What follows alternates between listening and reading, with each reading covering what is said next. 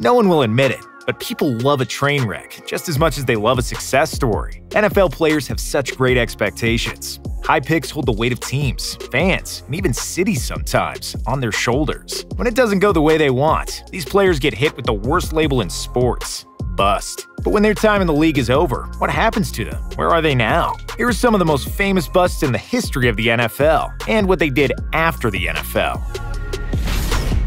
Jamarcus Russell Jamarcus Russell was the ultimate quarterback prospect. This is, other than the neck up, he was the crown jewel of the late Al Davis. Once Russell was given one of the last first overall pick ransoms, he started showing up full of McDoubles without any of the drive that got him selected with the first pick. It didn't take long before the Raiders realized the $68 million mistake they made. Once he bounced out of the league, Russell tried to make two different comebacks. Russell couldn't stay away from the game long and needed to make up for the chance he blew. Jamarcus returned to his old stomping grounds of Williamson High School in Alabama. Russell has been entrenched as the Williamson High School quarterbacks coach since 2018. The hope for football is that Russell is helping to make sure the next generation of Alabama stars learn from Jamarcus's mistakes. Vince Young After his rookie season, who thought Vince Young was going to be on this list? Just like his playing days, Young's post-career has been tumultuous. Almost immediately after retiring, Young was broke, $35 million down the drain. Young returned to where he made his name and where he loved the game of football, the University of Texas. This time as a cultural diversity liaison in Austin. It wasn't long before he scratched the itch to get on the field again, but it ended almost as quickly as it began. An injury led him to being released by the Canadian Football League's Saskatchewan Roughriders. Young has faced many of the same dark beasts that clouded his younger years. Two DWI charges and a pattern of not showing up to work got him dumped from his first job at Texas. But just this spring, Texas brought him back in as an assistant to the athletic department. No one knows what's next for VY, but we're rooting for him. Ryan Leaf Ryan Leaf's journey is one of the darkest in NFL history. Originally the 1B to Peyton Manning, Leaf's work ethic issues, awful arrogance, and poor play destroyed his NFL career in just three full seasons. His life struggles grew after his failure in the league, and he fell to rock bottom in the mid 2000s, years after his retirement. Leaf became addicted to opioids and other substances that he abused while fighting depression. The addiction led to run ins with the law, drug possession and burglary charges, indictments, and imprisonment. Thankfully, in the past few years, Leaf has fought to get clean and stay sober, using his strife and story to try and help others, including multiple NFL veterans. Now that he's nine years sober, Leaf works as an ESPN analyst, doing play by play. Tony Mandarich. Tony Mandarich is the Darko Milicic of football. Every top five pick of the 1989 draft is an NFL Hall of Famer, except Tony. When he entered the league, he was called by some the greatest offensive lineman prospect of all time. After his career was over, Mandarich said he was no longer on steroids when he got to the NFL and lost a lot of his strength. Tony was cut by the Packers and played a few years with the Colts before he was cut. Like many players, he fought addiction in the years after his career was over, saying he took 40, 50, even 60 painkillers a day. Mandarich has since come to peace with his issues on and off the field. What began as a hobby of taking pictures of nature, Tony found his life calling. Not long after, he started his own photography business in Arizona. That business has exploded into a digital and video design firm. Mandarich runs that business alongside his family. Trent Richardson. Trent Richardson was a can't miss running back out of Alabama, and well, missed. He was quickly traded from the Browns to the Colts, who cut him. Trent signed with the Raiders. When he was cut again, he signed with the Ravens and got cut again. His NFL run was over, as he averaged only 3.3 yards a carry, but Richardson wasn't giving up. This time, Richardson went north of the border to the CFL for a year. Because of a legal custody battle, Richardson would lose guardianship of his children if he stayed in Canada. That basically ended his run in the Canadian Football League. He immediately signed with his hometown Birmingham Iron of the brand new AAF. It looked like Richardson found his home. He scored in eight straight games and became one of the AAF's most dynamic players. Overnight, the AAF closed up shop. Richardson was out of a job again. So, what is Trent Richardson up to now? Still playing ball. He signed with the. Uh, checks notes. Caudillos de Chihuahua o Mexico. All Richardson wants to do in his life is be a great father and a running back, and he's still chasing both of those every day. Johnny Manziel.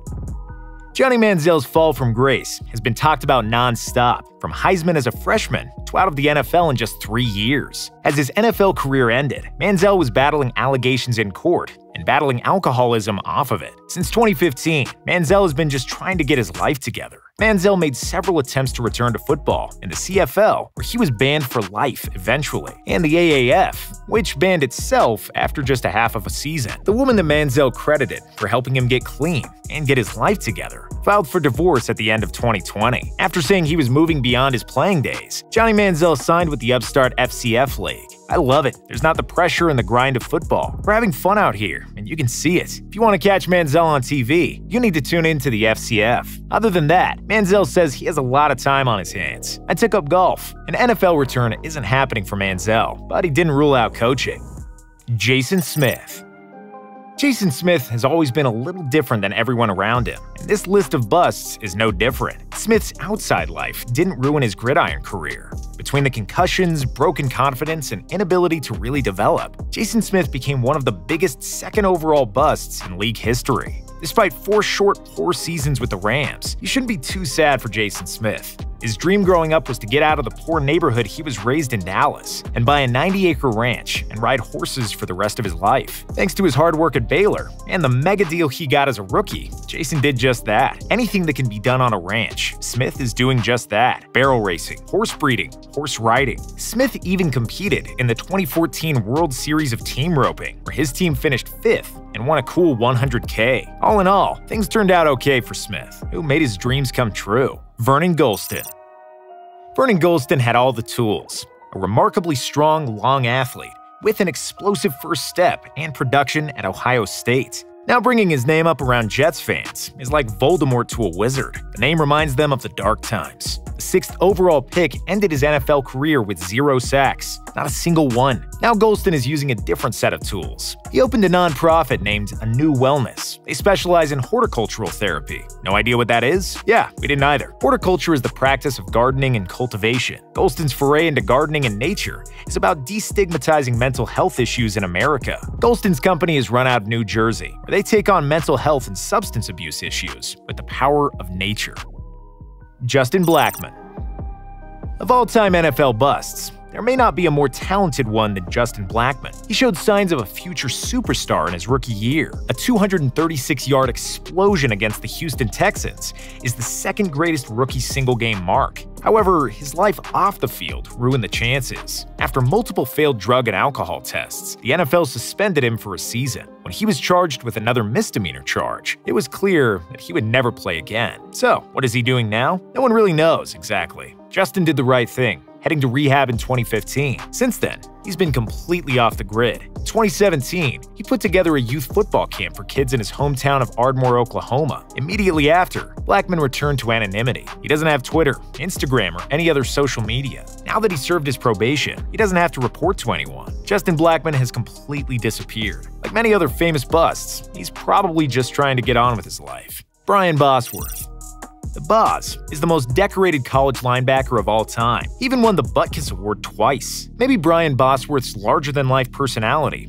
was bigger and better than his actual on-field play. It definitely was in the NFL. After his draft debacle, Boz ended up with the Seattle Seahawks. The Boz's short career was riddled with injuries and poor play. Once his playing days were over, it was clear the Boz was just a made-up alter ego for Hollywood. While that alter ego died when his NFL career ended, Brian Bosworth was such a good actor, creating the Boz from thin air. Why not use that talent and go back to Hollywood? That's exactly what Bosworth did. Since 1991, Brian has starred in over 20 movies, most notably The Longest Yard. Bosworth also lends his linebacking expertise on multiple college football analysis shows. I mean, he is, after all, maybe the greatest linebacker in college football history.